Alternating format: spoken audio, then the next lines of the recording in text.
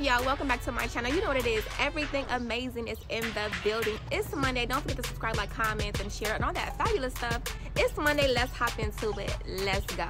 What's your compass? Two ingredients of success which is doing something you are truly pleased with but doing something you are truly excited about and you freaking love. It boils down to knowing your why. What gets you excited every morning when you get out the bed or what keeps you up at night. Comment below and let me know what you are excited about and what you are working on. Okay, what's your compass?